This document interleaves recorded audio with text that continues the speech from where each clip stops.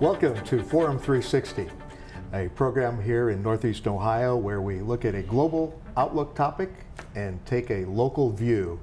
And what we have today is an interesting program right here on Western Reserve Public Television, PBS channels 45, 49, Hudson Community Television, and Rubber City radio stations where we're heard here in Northeast Ohio.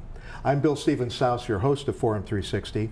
Our guest today is Rod Gaydosh, a law enforcement officer and an instructor in firearms with the Ohio Peace Officer Training Academy.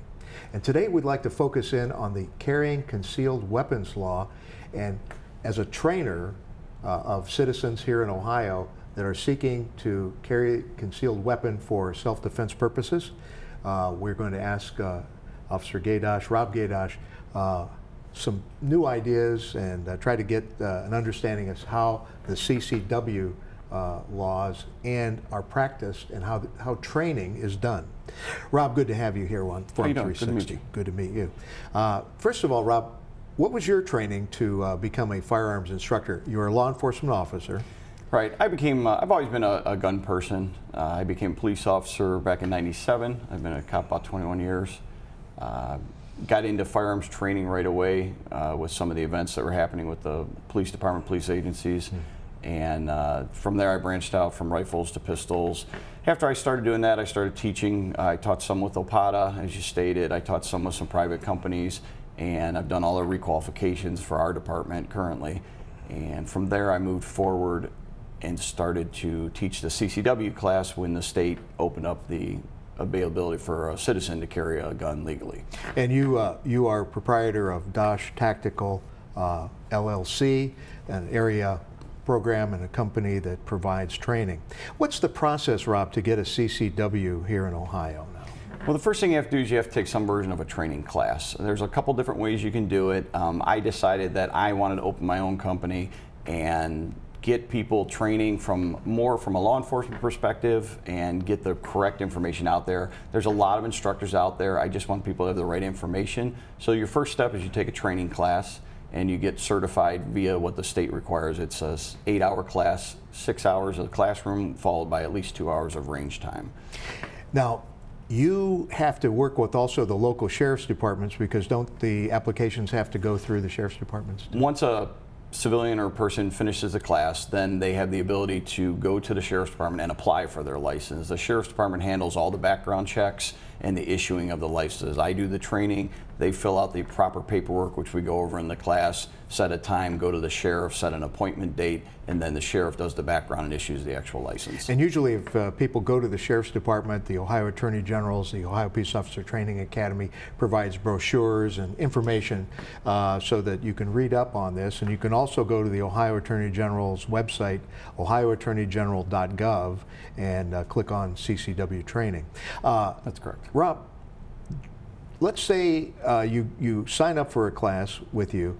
Uh, what should you expect to do the first, uh, as soon as you sign up? What, what do you tell students to do? What, what do you tell students to expect? I think more importantly, you have to check in your instructor and make sure it's a qualified instructor. Again, there's a lot of instructors out there, and some some are better than others. And you need to make sure your instructor knows the law and can teach you the laws of the state. Um, obviously your instructor should be teaching the safety of firearms. The last thing you want to do is have an incident where you have a problem with your gun or a negligent discharge or, mm -hmm. or you don't want to get in a position where you make a mistake and could get arrested. Um, so it's very important to check in your instructor. Um, the instructor should give you all the information about the laws, all the information about where you can and can't carry. They should give you some scenarios of you know what could happen if, if a situation arose and what you should do when law enforcement responds to the scene if you unfortunately had to use your firearm to now, yourself. as far as the uh, curriculum, what do you teach in the class in the first six hours or the during the, uh, the basically the sit down uh, part of it? During my class, I talk about several different firearms. I don't like to get people drawn into one gun or another gun. I talk about the laws. I go over the entire book with the class so you can say that you went through the book and I explain sections that are a little confusing maybe if you just read it. Um, I try and give a perspective from a law enforcement. Hey, this is what we're looking for. This is what you have to say to us so you don't make any mistakes. And so everyone's comfortable in the situation. For example, at a traffic stop, if you're carrying a firearm, you have to announce that you have a CCW permit and you are carrying a firearm where it is and if there's any officer directions that need to be followed. If you don't say that, you're breaking the law. So I make sure with my students that they know that, and then we carry on through the class with all those type things. So a student has to learn those things and properly adhere to those gun safety issues as well as, as you said, if an officer approaches uh, in a traffic stop or you're in a, an accident, you have to identify. Usually the state will provide the officer with knowledge through uh, through their dispatcher that there might be a, a CCW involved in this? Correct. There, your registration, your plates, your name, date of birth, if we run it, it comes up that you have a CCW permit. But if you're not carrying a gun, technically you don't have to say anything. But I always tell my students it's easier just to let us know, hey, I'm a permit holder. I just don't have my gun at this time. Um, but you definitely have to say if you're carrying a gun that you are and where it is. And this way, you know, if we're questioning you or talking to you, we may or may not take the firearm. We can take it from you. Very few officers do. We're confident that you're uh, passed a background check already, that you're a safe, responsible gun owner, and that you've gone through proper training. So we just need to know because the law says you have to tell us. And Rod, what are some of the things that a licensee has to consider uh, to maintain that? Is there a, a, uh, any type of continuing education, or is it just up to the student or the CCW holder to uh, contact an instructor like yourself and say, I'd like to get some more training? That's always a good idea, correct? Correct. What I always say is the, the actual class to get your CCW permit, that's that's like step one. That's the ground Basic level. That's that's just like getting your temporary driver's license in Ohio. You learn how to drive. Okay. From that point, you have to move forward and you have to actually get training. If you're going to carry a gun for a defensive purpose, you need to get trained to be able to carry that gun, conceal that gun, draw and fire that gun safely. You need to understand what it's like, what bullets do when they penetrate a target, when they over penetrate a target. You need to understand all those concepts so if you do carry and you do have to use your weapon that you're doing it in a safe manner so you stop the threat that's trying to hurt you but you don't do any damage to anything collateral. And we've heard uh, cases in the news where uh, people that were trained properly, CCW holders, uh, they do get involved in an incident. They do maybe save a life or save a friend's life. Uh, and uh, yet the law enforcement uh, agency for that community would have to investigate that, correct? If there was some type of. Absolutely. It's still a crime until we investigate it and prove that it was self-defense. So there's a crime scene and then. Correct. uh, it's processed just like a normal crime scene.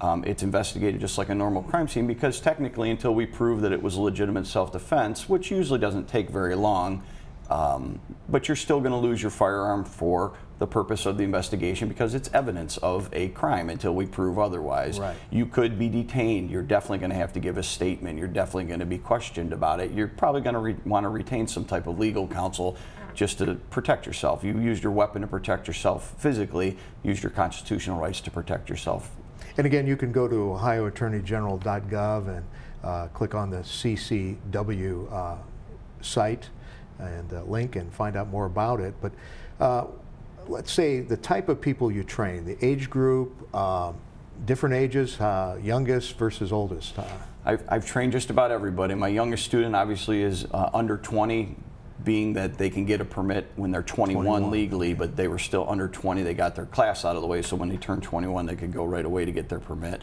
Um, I've trained a young lady up to the age of 89 years old. Wanted to exercise her constitutional rights, wanted to exercise her Ohio rights, and got her CCW permit. She did a very good job.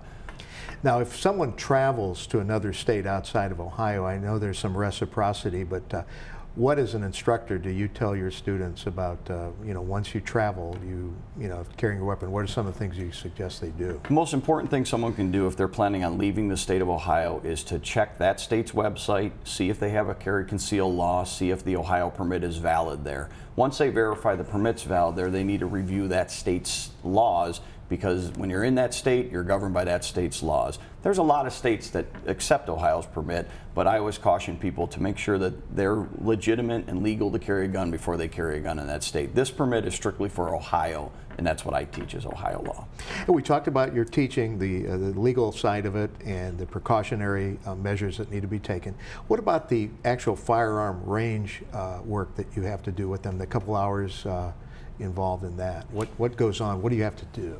part of my class is is hands-on firearm. You have to touch a firearm, you have to handle a firearm, you have to load and unload a firearm with inert ammunition to show that you're comfortable in doing it. When we move out to the range and we actually go to live fire, where we're loading live ammunition into the weapon system, charging, cycling, unloading, clearing, maintaining our rules of safety all the time, we go through many different weapon systems I don't like people to get kind of sucked into one gun or another. You have to have this gun, you have to have this brand, because my thing is you have to have a gun that fits your hand. Right. Once we get a gun that fits our hand, we have to get a caliber, which is a size bullet that comes out of the gun that we can control.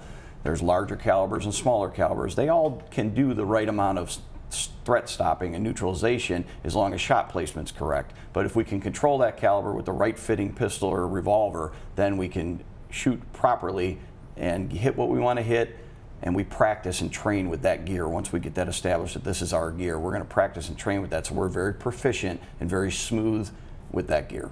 Is there any information that you would give a student as to uh, how would they find a firearm? Uh, because as you said, different people prefer different sizes, different uh, calibers, different companies. Some prefer American-made companies, some prefer overseas companies, depending upon uh, you know what they understand.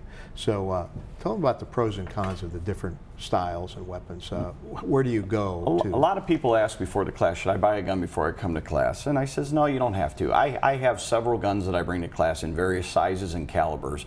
And this way you can touch and feel and get that right gun to fit your hand, shoot it. If you don't like that one, we can put it down and pick up another style gun, maybe another action style, another um, trigger press, depending on what we go. Maybe a revolver is better for you. After we try a couple different guns, or after you try one that fits your hand, you say, yes, this is the one I like. Now you can be an educated consumer. You, you know you've shot that gun, it fits your hand right now. You can go out and shop for one, either new or used, and find the right gun for you versus going out and buying a gun for four, five, six hundred dollars and then it doesn't work, doesn't fit, doesn't suit your purpose that you're going to use the gun for, whether you're going to conceal it or keep it in your car or keep it for home defense, and then you have to go out and spend more money again and buy another gun. I'm okay with people buying a couple guns, but it's always good to have the right gun for you.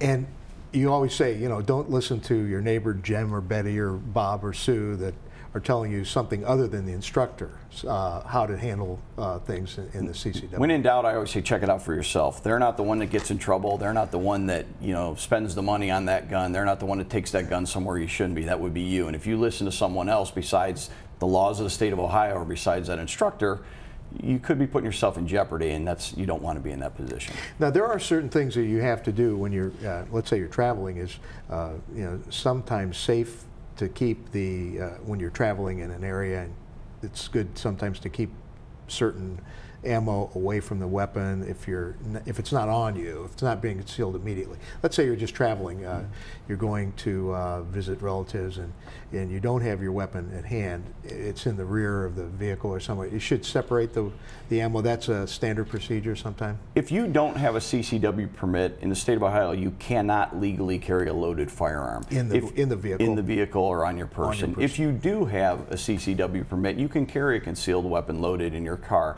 So for instance, when people come to my class, they're coming to the range to learn. They're coming to the class to learn. So their ammunition and the weapon have to be separate. The state of Ohio says a reasonable and prudent man would have to exit the vehicle to get to the, to put the two together. So I always recommend to keep the weapon system unloaded in the in the factory box it came in or in, in a bag or a range bag up front and then the ammo locked in your trunk separate so you don't have any problems. Now once you get your permit you can keep it together and, and be concealed and, and carrying it but we also have to keep in factor, are our children present?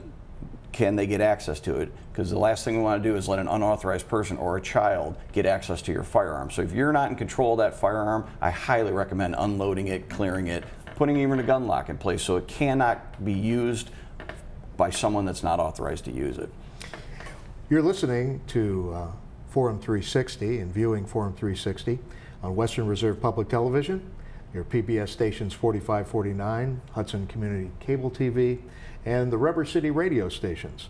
I'm Bill Steven Saus, and thank you for being with us on Forum 360 as we explore carrying concealed weapon in Ohio. Our our guest is Officer Rod Gaydosh, a 21-year veteran uh, police officer, uh, firearms trainer with the state of Ohio, the Ohio Peace Officer Training Academy, and uh, he graduated from the University of Akron uh, in criminal justice and uh, police academy curriculum. Uh, having a uh, CCW, Rod, uh, carrying a gun is for your protection. Uh, we often talk about the seriousness of this. Uh, let's talk a little bit about self-defense and the concept of uh, protecting yourself with this CCW. What I tell people is a gun is no more of an extension of your hand. A knife is no more of an extension of your hand. I try and teach people, it's ironic that it's Forum 360, I try and teach people their 360 awareness, teach people to open up their view, right. to just walk into an area and go, why is that person standing there when no one else is around? Why is that person leaning against my car? when there's no other cars in the parking lot. Do I really need to go to that car? I, can I go out and exit and maybe get a security guard or a police officer to find out? But if you're down on your phone texting away or you're not paying attention and all of a sudden you walk into that threat, you could be armed with every gun in the world. If the threat is on top of you before you see it and perceive it, you're not going to be able to get your weapon and defend yourself something as simple as stepping away from someone, putting a car between you, putting a table between you and the person, addressing them. I say hello to people all the time. If I talk to someone, they know that I've made eye contact, that I've addressed them, that I know they're there. And all of a sudden, if their intention was to hurt me or do something bad or commit a crime against me, the loop has changed. They have to go, is this really a soft target? Is this a soft threat? And chances are they're going to pick something else or walk away quickly. Criminals don't like to be identified. They, they like to surprise you, attack you, get what they want, and leave before they can be identified and prosecuted. Having a weapon is a nice addition to being able to protect yourself. But seeing the threat and addressing the threat before it even becomes a threat you may never even have to produce your weapon, which is a nice option too, because then you don't have to worry about the fact that you had to use a weapon in a situation to defend yourself when you simply saw it coming and avoided it. Now, you're a law enforcement officer, so you're teaching uh, civilians for uh, carrying a concealed weapon under the Ohio laws. So understanding that CCW, in your opinion, right, it doesn't mean you're going to be a crime fighter as a civilian. It says that right in the, in the law and in the book. The purpose for you getting your CCW is for self-defense, defense of others, defense of your family, defense of your property to an extent. That's what the this is for. This doesn't make you a police officer. This doesn't make you a private investigator. It doesn't even make you a security guard. We always tell people, if you have a weapon and you see a crime or see a suspicious person, your job is to call us. Let us go. Let us talk to the person. We're trained. We have body armor on. We can deal with people, criminal record check people over radio talk to people in a way maybe that you don't understand how we talk to them or how we act around people, and then we can determine if they're a threat versus you walking up and going after that threat. One of the rules say is to retreat. If you can get away from a situation by simply leaving, that's the best thing you can do. Grab your kids and run. There's nothing wrong with that. Run, hide, fight. Sometimes you got to run, sometimes you got to hide, sometimes you got to fight. But you got to be ready to do all three at the same time. While running, you got to look for a place to hide. While hiding, you got to be ready to fight but you got to be ready to run again. There's nothing wrong with running. And it's good to have a, if you have a cell phone or a phone to call 911. Absolutely. Let the local law enforcement know what's happening in, in the fact that you're having to defend yourself. And when you do call 911, just saying there's a man that's suspicious doesn't help us. Is it a white male? Is it a black male? Does he have a red shirt on? Does he have a blue shirt on? Is he by a black pickup truck? Is he by a red sports car? Those are the things that can help us. If it's in a car, does the car have a busted taillight? Does it have a busted headlight? Something that would identify it quickly for us. Those are the things that help us when we get there. So when we show up, we don't see you and go, maybe that's the suspect, maybe that's the bad guy. It helps us because you've told us the good information, good description. That's the stuff that can help us. Now, in your capacity as uh, director of, and uh, president of Dosh Tactical LLC, uh, you, you give training, you provide training, uh, you help your students. Uh, what are some of the, when the students graduate and they leave, do they come back with some questions and answers? Or, Rod, I never realized this would come up? Anything that you can remember uh, talking to some of your students? The old class used to be 12 hours. That was a long day. The new class is eight hours. It's still a long day because you're covering a lot of material and some instructors break it up over a couple of days. I like to stay focused on the day and get through a day. Right. When when people sit back, relax, and start to rethink what they just went through, they read the book again or they go through something, they come up with questions and they'll ask the questions. Call back, hey, can I carry a gun if I see this sign? No. How we how we said is once you know you saw this sign, that that's a restricted area, you can't carry a gun. Okay, hey, if I got to go get a police report at the police station, can I take my gun in there? No, that's listed in the book that that's a restricted area. So we review a lot of the things that just, you know, you went through. At the end of my class, I give you a written test. The written test is a review of everything we covered that day. And a lot of that stuff is all based on the firearm safety being safe with that firearm, safe for you, safe so you can protect yourself, protect your family, but safe so you don't get yourself in trouble. If you're speeding down the road and get a ticket, it's a two points violation for speeding ticket. If you're speeding down the road, get pulled over for speed and do something wrong, reference your weapon, you could be arrested for anything and to up to in a felony. We don't want to have that happen to a good person that's carrying a gun. We want to make sure you understand the law. So all those questions, as we go back through them, people they get a little more clarification. The second thing people contact me about is they're at the gun shop. Hey, I'm looking at this gun and this gun. Here's the price difference which is a better gun? I'm not going to tell you which is a better gun. There's a lot of great guns out there. I personally like certain style guns. Other people like other style guns. But I can pick up any gun and shoot it once I learn that gun. So what I tell people is, do you trust your life in a, in, a, in a cheap car or do you trust your life in the good car? Do you put your kids on a good school bus or do you let your kids walk down a, a busy highway to get to school? Buy once, cry once. You know, they'll talk right. to me about good quality. The key is quality. If something's a quality product that's got a good reputation and is dependable, that would be a good firearm for you to carry. And since 2004, when the Ohio CCW law uh, was put into effect, law enforcement seems to be working well with the uh, with the citizens. There seems to be in your at least in your area here in Northeast Ohio, you've had some good success. The thing that I understand as a police officer is that everybody that gets a CCW permit, although some can fall through the cracks, like in any type like capacity, those people have been background checked. Those people can legally own a firearm. Those people have been trained to some degree, at least the initial training. Those people don't bother me. They don't scare me. They're generally good people that are there to help me. And I appreciate that. As long as they tell me what they're supposed to at the car, and if they don't because they're nervous, it's very nervous to be approached by a police officer sometimes. I understand that because I've been approached by a police officer sometimes. So when they say it wrong or do something wrong, I say, hey, listen, make sure you tell me this, make sure you say this, make sure you keep your hands here. And I just re-educate them a little bit, a little free training on the side of the road. But the majority of people that I've run into have been very, very correct, very polite. We've had no problems with that, and I know they're good people. If there is a question, if there is a concern, like I said, can I take a firearm away during a traffic stop, during an encounter? Sure, I can.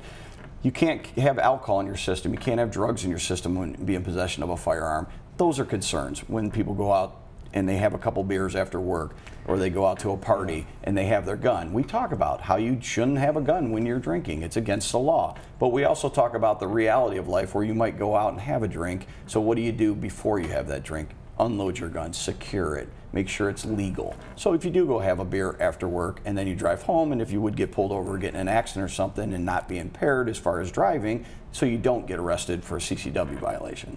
You were talking about the types of guns a little bit ago.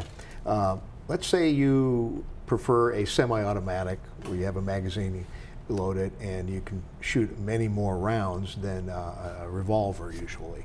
Um, would you suggest that they take a second class with the revolver, or uh, one class is enough uh, using one, trying to get used to both? Is it, do you require them to, let's go back and take a refresher with this revolver because you just bought it.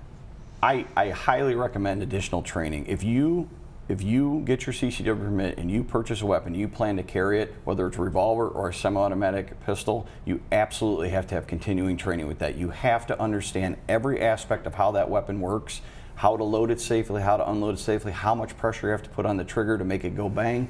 You have to understand the sights. You have to understand everything about that weapon. So if you do switch over to a different gun or a new gun, absolutely get training with that, whether it's from me or another qualified instructor. There's a lot of good instructors out there, but check them out. Make sure they're good instructors. Get references. Talk to people that have been with them and trust them. For our Forum 360 uh, viewers and our listeners on Rubber City Radio, we're getting a lot of uh, uh, people that call in with questions and do you have a phone number that they might be able to call you and say I'd like to uh, request some information or maybe uh, find out how to take a class? Sure. My uh, number is area code 216 409 1808.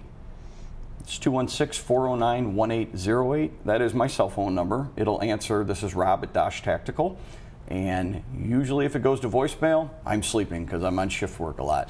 And As I will call you back. Leave me your name and your telephone number that you're interested in CCW training. I will call you back. What I do generally is I keep everyone's names. When I get a date for a class, I will give a phone call. If you have an email address, I'll email you out a form with all my information about where the class is going to be and everything about me. You can tell me that's going to work for you on that date and time, and I check you off, and we have the class that day, and you show up. Thank you. Uh, firearms trainer uh, Rod Gaydosh is with us, and he's been uh, involved in both uh, civilian and police training. Um, during the week, uh, how much time do you dedicate to the CCW training, or is, uh, do you do classes every week or uh, periodically? I try and do a class once a month. I, I try and have a smaller group. Uh, I don't like to have big 20, 30, 40 people rooms. I like to have about 10 people. Uh, that's a good size class for me. I'd like to bring in a second instructor a lot of times because when you're training with, with my company, when you're training with me, I want to make sure somebody's right there to help you. Somebody's right there to put hands on. Somebody's right there to correct something that possibly is going to be unsafe if it continues. I don't want to have any accidents. I want to have good, solid training. I want to make sure your grip's good, your sights are good, the way you're working the trigger's good. So you proficiently hit the target, and then we build those skills and we keep building into being smooth with that weapon system. Thank you, Rod Gaydosh, for being on Forum 360. I know you brought a, some awareness to the CCW situation here in Ohio. Thank you for being with us. Thank you. Anything I can do to help? Forum 360 is brought to you with support from Electric Impulse Communications, Kim and Harvey Nelson, Rubber City Radio Group, Acronist.com, Hudson Cable, Medical Mutual of Ohio, Forum 360 supporters, and the Shaw Jewish Community Center of Akron.